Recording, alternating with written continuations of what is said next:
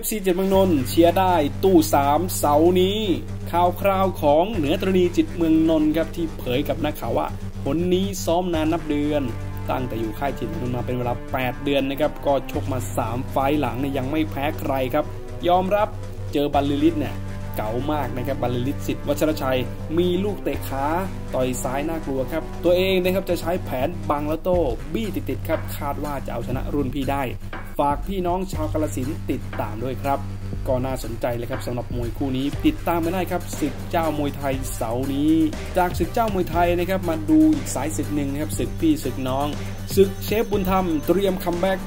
เป็นอีกหนึ่งทีมครับที่เตรียมกลับมาจัดมวยให้แฟนมวยรับชมกันศึกเชฟบุญธรรมมวยไทยออนไลน์ โดยเชฟบุญธรรมภาคโพธิ์นะครับอดีตเชฟกระทะเหล็กประเทศไทย ซึ่งจะจัดการแข่งขันในระบบปิด100%นต์นะครับแล้วก็ถ่ายทอดสดออนไลน์ทุกวันพุธ โดยตอนนี้นะครับอยู่ในขั้นตอนการเตรียมงานสถานที่จัดการแข่งขันและก็เสนอแผนงานจัดการส่วนจะเริ่มวันไหนนั้น แฟนมวยรอติดตามความคืบหน้ากันต่อไปครับ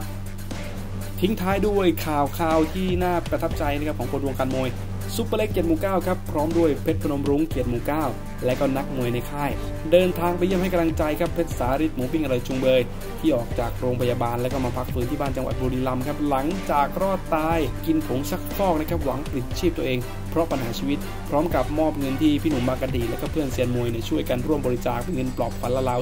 25,000 บาทนะครับก็ต้องขอเป็นกำลังใจให้กับนักมวยนะครับอย่าท้อแท้กับความลำบากนะครับและก็ปัญหาที่รุมเร้า ปัญหามีทางออกนะครับ ด้านเพชรสาธิตเองนะครับก็ขอบคุณทุกคนที่ให้กำลังใจ และก็จะไม่คิดสั้นอีเด็ดขาด เงินที่ได้จะนำมาทำให้เกิดประโยชน์มากที่สุด ร่างกายดีแล้วนะครับจะซ้อมมวยต่อ อยากให้สถานการณ์ต่างๆนะคลี่คลาย มวยจะได้กลับมาคึกคักอีกครั้ง และนี่คือข่าวคราวอัปเดตในช่วงนี้ครับเพื่อนๆชอบคลิปแบบนี้ฝากกดไลค์เป็นกำลังใจให้ทีมงาน และก็นักมวยนะครับผ่านพ้นวิกฤตโควิด ไปด้วยกันครับ